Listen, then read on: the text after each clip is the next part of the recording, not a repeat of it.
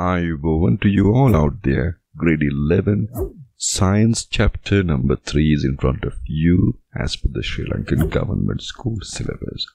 That is right, we will talk about mixture today for the first time. And it's going to be an introduction to you about the subject mixture. At the end of this session, you will come to know what is a mixture exactly.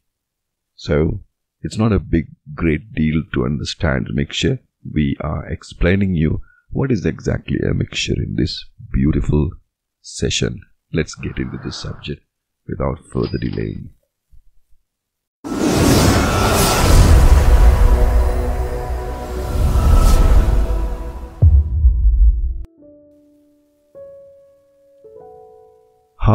Air is mixture of several substances? That's a question. Now let's understand that one. Let us pay our attention to the composition of the air around us. Look around. While you're sitting and listening to this video session, you are looking at the air now. Air is composed of gases like you don't know there are gases out there. The nitrogen, oxygen, argon, carbon dioxide, water vapor, and very small particles such as dust. But you can't see those things. Those are coming together and forming the air. That is called air is a mixture of several substances just like these in front of you. Therefore, if some matter contains two or more substances, such matter is referred to as mixtures. Look at that. Helium and two oxygen. The other side, the water.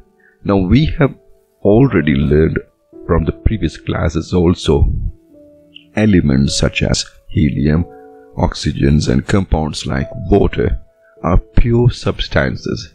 Those are pure substances. But mixtures are not pure substances. So, this helium and oxygens and water, those are not mixtures. Those are pure substances. So mixtures are not pure substances. Therefore, if some matter contains two or more substances, such a matter is referred to as mixture. Something like if you see this element, that's copper, and compound like salt, sodium chloride, and mixture is something very similar to jelly beans. You can see a lot of different kinds of jelly beans together that's a mixture. Natural environment mostly contains mixtures, not pure substances. This is something for you to understand. The natural environment where you live mostly contains what? Mixtures, not pure substances. Air, soil, seawater, river water that is in front of you, and rocks around us are example for all these mixtures. The things that we drink such as cool drinks, fruit drinks, tea, coffee and food items such as ice cream, yogurt and fruit salad are also mixtures. For your information, that is in front of you. Coca-Cola, Sprite and Coke and some juices, those are all called mixtures as well. Now, we have an activity in front of you. To do this activity, you need hydrated copper sulfate. That is a component, that's right and naphthalene mothballs. That is another component. We need a mortar and pestle to crush these together. That is right. Method is take some copper sulfate and naphthalene balls into a mortar and grind them together with the pestle into a powder and mixed well. Now you have to transfer the powder onto a piece of paper and observe and you see the color difference is also there. That is becoming a mixture now because copper sulfate and naphthalene balls are together now. Now there is an activity that is connected to the previous activity where we mixed the copper naphthalene balls, that's right, together with copper sulfate. Here we want to have two beakers just like this. We need a glass rod, a funnel, a filter paper and hand lens. What we are exactly going to do here? Right. Transfer the mixture made in activity 3.11 above into small 100 milliliter beaker. beaker. Add about 50 milliliter of water into it and stir well. Once you are stirring it, it will mix and it will dissolve. That is right. And you can obtain a color like that. Then place a filter paper into a glass funnel and filter this solution into another beaker just like that. Now you're filtering it. But once you filtered, you will see something on that filter paper. Okay.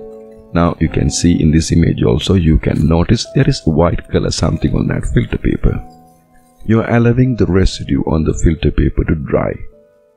And observe with a hand lens, observe the filtrate as well. Since the solution is blue in color, the substances that dissolve in water is copper sulfate. From this activity, you would have understood that the residue on the filter paper is naphthalene powder. So this is naphthalene powder on that filter. And the copper sulfate had gone separately. Activity clarifies another feature of mixture. That is, even when the components are in a state of being mixed, their chemical nature remain unchanged. In other words, the identity of the components constituting a mixture does not change even in the mixture. Did you see that copper sulfate and you're mixing that one along with the naphthalene bowl but once you filtered it, what happened? You can separate it. And you can separate the naphthalene ball powder form and the redness, the copper sulfate is going separately. So you had separated it in some way. They call it moreover. The above activity shows that the components in a mixture can be separated by physical method. Filtration is an activity of physical method. Here what we are using is a filtration method to separate those two. In a mixture, you can do that one. Remember it. Okay? So thus mixtures can be defined as follows. Mixtures are matter consisting of two or more components which are not chemically combined and can be separated by physical method. The things what we have to take a big note is this. Mixtures are matter consisting of two or more components which are not chemically combined. It is not chemically combined and can be separated by physical methods. Those are called mixtures. So the definition is very, very clear. And the activity we did had even also given you some information that those are not chemically combined. We combined it in the mortar and then after that we also separated it. We also separated by physical method. There are some good examples for that one. Cement mortar. That is a mixture consists of sand, cement and water. And when you're talking about cake, sugar, flour, water, coloring and butter coming as component. When you're talking about well water, water in the well, water, dissolved oxygen is there, dissolved carbon dioxide and various salts are there. In the seawater, it will be more component water dissolved oxygen and salt such as sodium chloride, magnesium chloride, magnesium sulfate and calcium sulfate will be available in that. So you can definitely come to know the mixture and the component difference. Two or more components coming together to form the mixture but it is not chemically combined and you can separate it with a physical method. Well, when considering mixtures, it is important that how well the components are mixed. Understand this thoroughly with the help of the following examples. I'm going to give you some examples like when making colors by mixing paints. Application of the paint will not give uniform colors unless they are mixed well. Before giving paint, you are mixing that paint very nicely otherwise your wall will have a different color in different spots you can test it and see. If the components used to make cake are not mixed well by your mom, different parts of the cake taste differently. Also, the rising will be different in a different part also.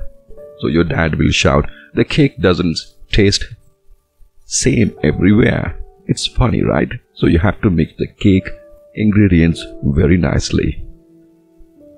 Or else the medical property of tablets, capsules or liquid mixture is not even in an older part in the components are not mixed very well in the medicines like preparing tablets, capsules or liquid mixture.